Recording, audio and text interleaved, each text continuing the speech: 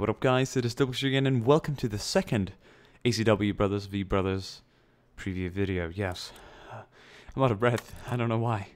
I ran back here. Shit. Anyways, welcome back. We're going to be taking a look at the artillery this time around, so we're not going to be uh, looking at any special kind of map. In the first preview video, we had a bit of a...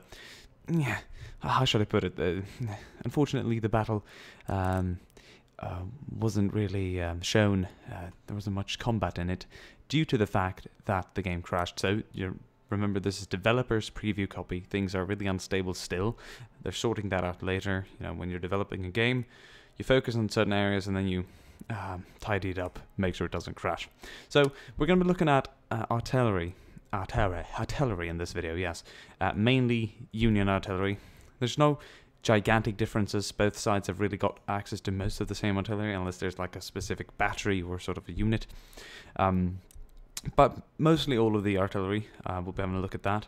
Um, perhaps not all of the guns, but we're going to see what we can do. Uh, we are going to take a look at the new 30 pounder Parrott. Uh, we're going to take a look at the, uh, not the Gatling gun this time around. We're going to take a look at the uh, 10 pounder, so we'll get a bit of a comparison between 30 and 10 pounder, to see the damage difference.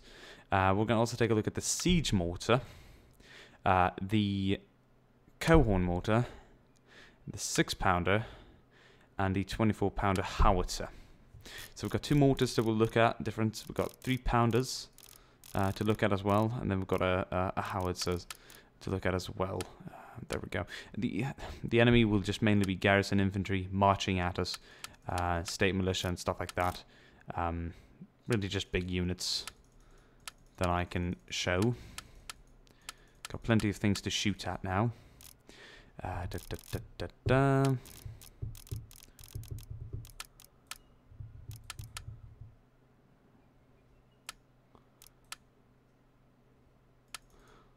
No, we'll bring in some Slavic volunteers. That's interesting. Confederate Marines. We'll just go with some regular infantry instead. So we've got plenty of infantry to shoot at. Uh, no question about that. Actually, I think I'll match the amount. 1, 2, 3, 4, 5, 6. 1, 2, 3, 4, 5, 6. Then we've got some regular infantry for the whatever remains. Actually, that should just be about fine. And then we'll have some skirmishers ourselves to just hold them off uh, in the distance. So I'll be looking for skirmishers.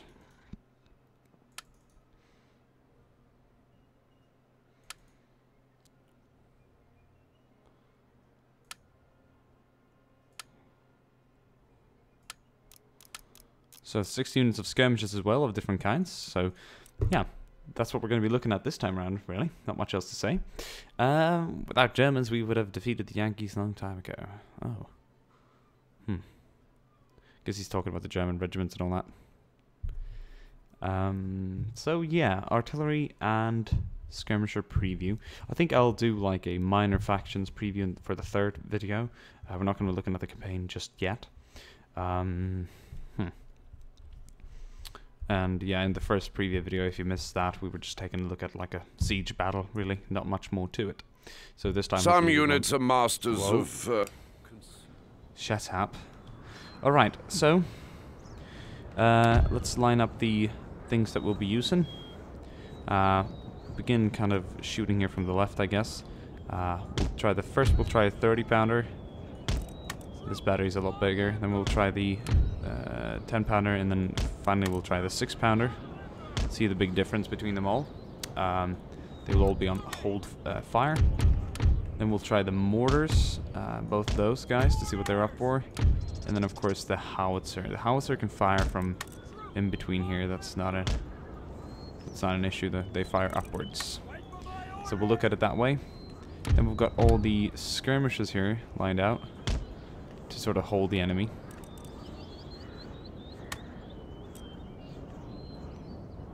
So that's going to be very tidy and cool.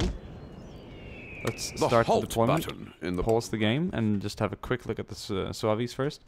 Uh, this is the 8th Massachusetts, Massachusetts, Massachusetts, yeah, Regiment of Colonel I or L. Salem Zouaves. Regiment Company 1st Salem Zouaves, I don't know. Um, Company K, Irish, Union 69th at New York, Company K, Irish Zouaves. Uh, Union 11th, sorry, where are they? Yeah, here we go. Union 11th Indiana Infantry, Wallace Zouaves. Very cool. 65th Illinois 2nd Scotch Infantry. They're the ones with Henry rifles, so we'll see them in the action again. First, um, Minnesota, MI. I think that's Minnesota. Missis no, yeah, it's Minnesota. MI. MA's, yeah. Sharpshooters Company. Should be Minnesota. 62nd New York Anderson Zouaves. And that's about it. Then we got the General. I'll place him just back here. And we'll take a look. So, 30 pounders. You're going to begin firing. We're going to be taking a look at the regular round shots for you guys. So we'll aim down the Virginia Volunteers there on the left. They start out with uh, 240 men.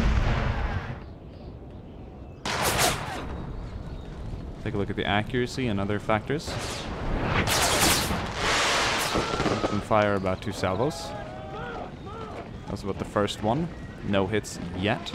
Uh, do remember this is a far distance, uh, pretty far away. Other said. Not too accurate, but uh, I believe that what these guys pack is the damage of the 30 pounder shots. Some heavy cannons here. Okay, they're gonna fire again pretty soon. We're looking at reload time as well. Seems to be a little lengthy. These guys are gonna get mixed in, so they're probably gonna do some damage to the North Carolina volunteers in case they do hit. That's something you just have to be fine with nowadays. Okay, we're gonna see them fire one more time. Here we go. That hit, and that is a massive damage. If it does hit, it does massive damage. We can hold fire as we go there. They made the North Carolina Volunteers retreat, and they dealt a stinging damage. Uh, we're gonna look at the 10 pounder now.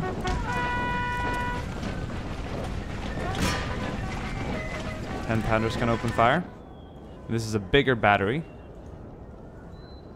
so this might they might deliver more damage.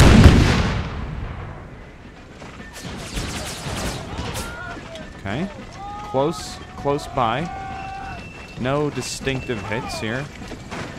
Um, I guess they're trying to, you know, getting targeted in here. And these guys are going to reload a bit quicker than the 30 pounders. So this is not only a bigger battery, but it should be more rapid as well. Looks like the sharpshooters opening fire as well to begin with. That's interesting. They've got a long range. They're going to hold fire for now.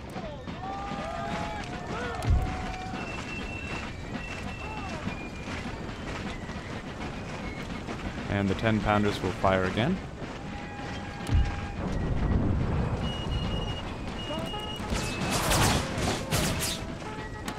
Big battery, but no hits, unfortunately.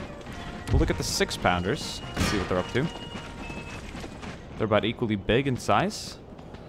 Of course, a smaller caliber here, so we'll see what happens. Perhaps they're more accurate. Yep, definitely. They did hit. Uh, no conclusive fact that they are more accurate just because they hit once, but we'll give them a second round uh, as well, and we'll see if they can perform equally good. These guys really need to hold fire. There we go. They're not hitting many, but still. Hit one guy there. It's a long range. So, reload time, they seem to be about the same here as for the, the 10 pounders. Nope, they're actually way quicker. Excuse me. And yeah, definitely more accurate than the other pounders there, but they don't deal as much damage. Um, let's take a look at the uh, 24 pounder howitzer, seeing as they're starting to come in range for that. This is about at its maximum range for the howitzers. And we're looking at a, a good set of guns here. And they're firing away now. We're going to look at what kind of accuracy and damage we get out of the howitzers. These guys use um, shells that explode in the air and shoot shrapnel down at the enemy. I believe that these howitzers are incredibly effective. We fire some of the North Carolina volunteers as well. They're accurate and they, ha they, they have this morale impact that the other artillery simply doesn't because of its damage. So howitzers, um, definitely lower range, um, smaller range should I say. So they might not be uh, perfect for every single combat situation, but they're great to have behind infantry. They fire above them, and they're not only accurate, they're very deadly too. But seeing as these guys are running now, there we go. Some shells, depending on the range, explode here, some explode on the ground. Very, very good damage, good reload time as well. Let's have a look at the siege mortar. Firing at the North Carolina Volunteers there as well. Four man mortar unit here, or four four cannons or four guns or whatever you want to call them. Also have the um, air burst effect there. Okay. Starting to get close now, so we're going to be ready to open up with the skirmishes soon and see if we can hold them back. We're to fire the Coehorn mortar while we're at it. Let's see if there's any major difference there. Definitely a smaller piece. Could they be more accurate? We'll find out. Here goes the Coehorn mortar.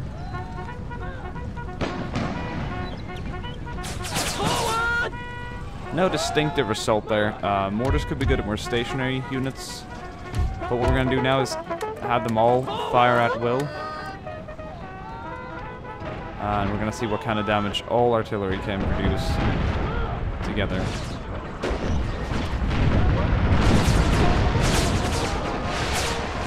Creating a living hell there for the Confederates.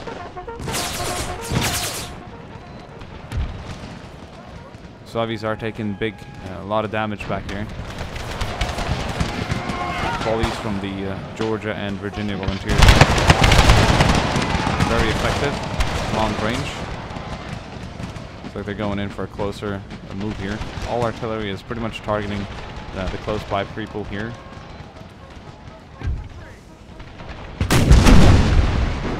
At this range, artillery is definitely more accurate. We're gonna try the shrapnel shot this time. It will most likely be some sort of bursting round. Like that. Very dangerous. Um, result in a lot of routing enemies if you can get a good hit. Seems like it flies over the head of the enemy for most of the time. But that remains to be seen entirely.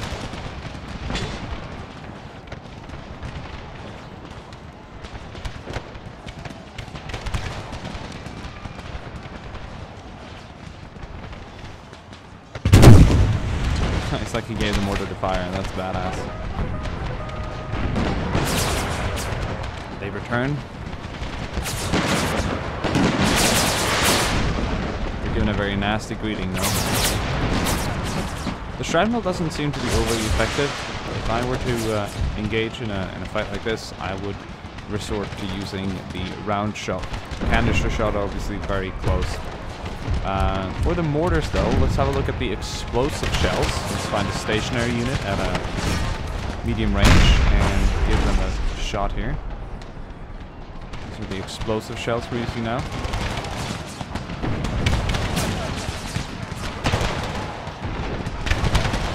Perhaps they hadn't reloaded them. There we go. That's one of the explosive cannons. They land and then they blow up. goes off in the air up there as well. That's very interesting. Lower quality infantry make. Like the flank fell.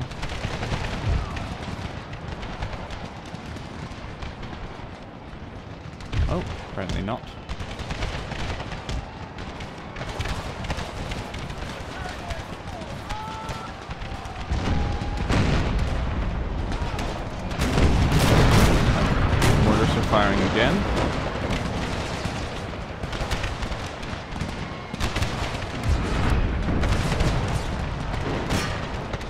Seem to get any decisive information out of these shots. Here we go.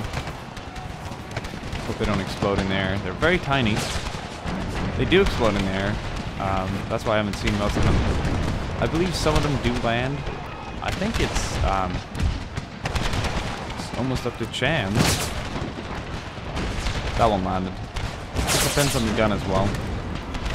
What sort of round shot for these guys. Howitzers will target the guys on the left flank there, the right flank. Let's see if we can rout the army with effective artillery fire here. Would be incredibly interesting to find out. Howitzers and mortars will focus on the Georgia volunteers. These will take on each unit there, and the Parrotts will actually fire straight ahead, right into the Virginia volunteers in front. These guys can use the percussive shells unlike the smaller, uh, smaller pieces. So we'll have a look at the percussive shells as well.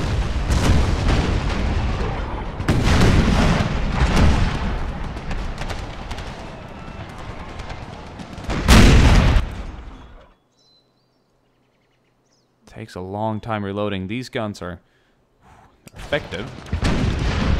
Very big. We're going to see the percussive shell in action now. If they manage to score a hit.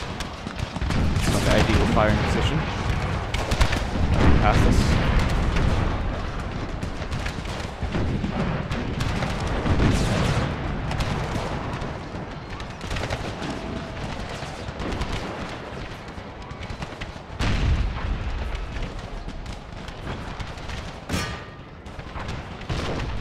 Seem like they're not entirely reloaded yet.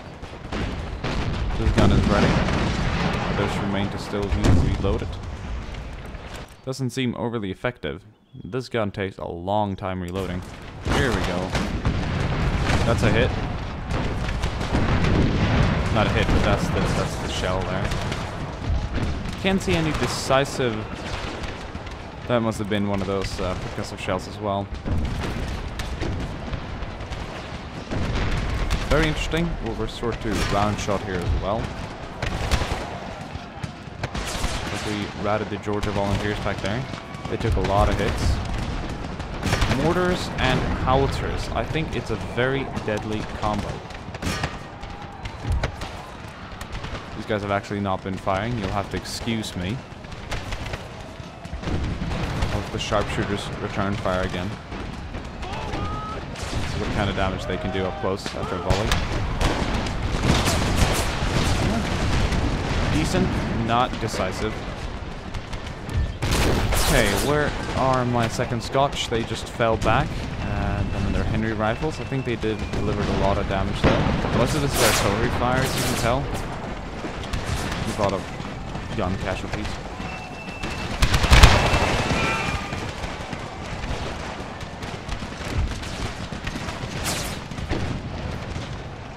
Most flanks seem to, to start failing now. Buy the artillery a bit of time, I think it'll be fine. So um, howitzers seem to be my favorite this time around. We'll see what kind of unit does what. Just a look at the new unit cards. Bolt shell, case shot. They can fire. Very nice indeed. Shell is interesting. Here are the different armaments. This is incredibly good. Uh, cannot ignore these uh, unit cards. Very interesting indeed.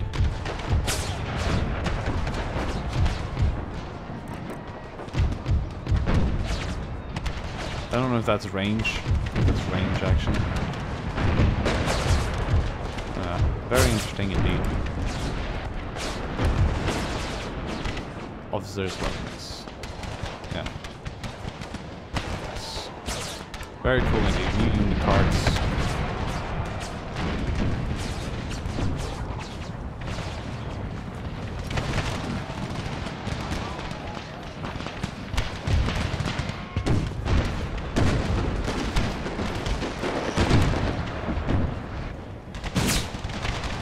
Routed entirely.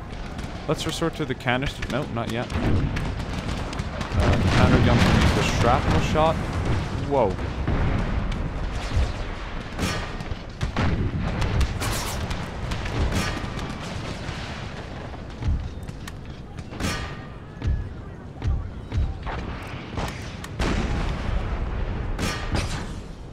Just gonna fire up there. Fire up right here.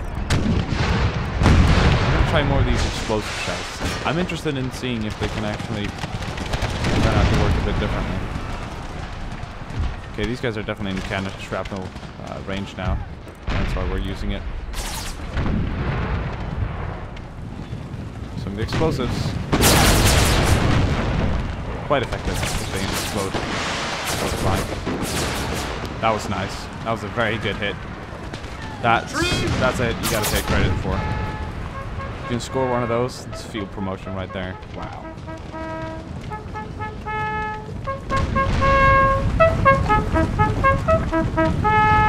Kind of bouncing. The shrapnel doesn't seem to hit that well.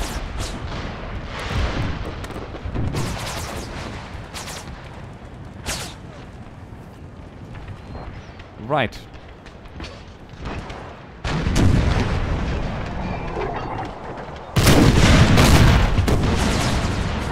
They still return. I think I just want to finish this so I can get a good Most Get a good look at what, begin um, with skirmish. good look at what we can, what kind of units did what damage here. So all these guns have pretty much been firing at will for the last set of time. I'll spare one cannon to shoot at the broken unit. They might actually return, unlike the shattered one. They're coming back. This unit is about to run any time now. Give the artillery just a kind of a go at them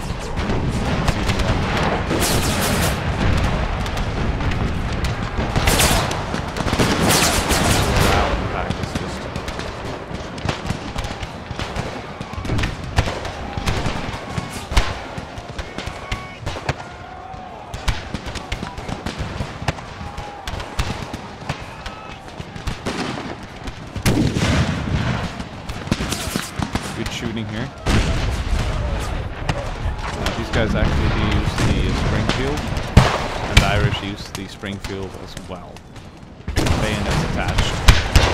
These are technically not designated um, marksmen. They're part of a part of a regiment. Which company is company I? I think. They have that many. Um, you know, resort to skirmish tactics in the field, so very interesting. Good smokes here. Good smoke effects, definitely. Very cool looking. Not giving these guys a break here. Boom. Broken. Born.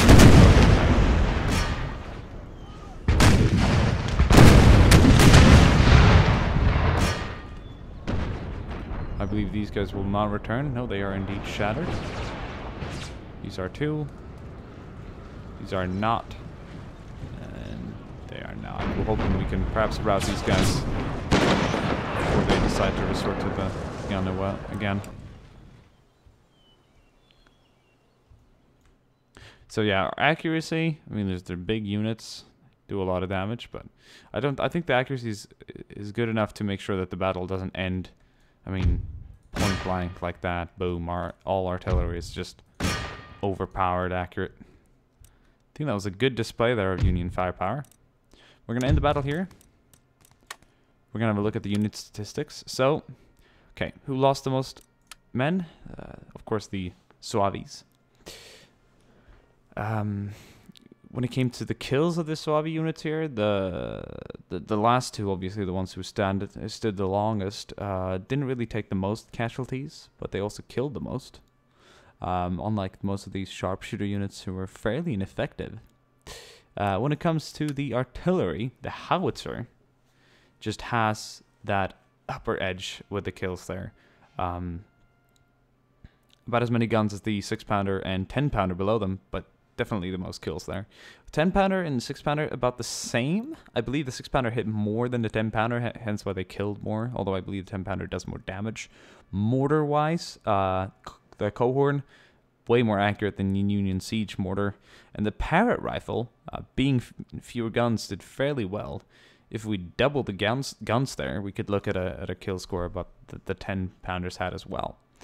But yeah, that's interesting. I hope you guys enjoy that little preview, and I will see you guys soon again. Ciao.